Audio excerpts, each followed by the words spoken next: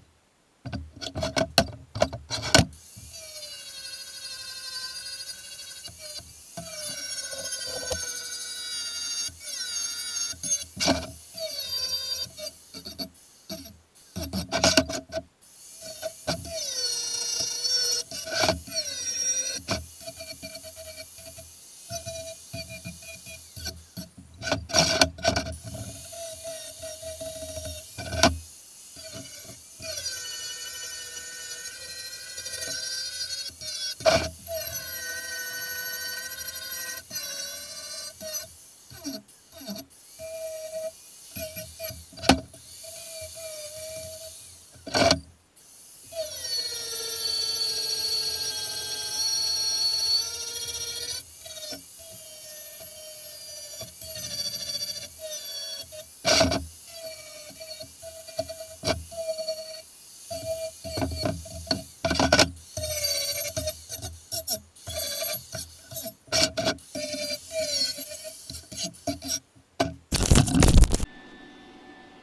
Alright, here it is finished. I don't know if I press play while I was welding or not. So, if not, here it is finished for the most part.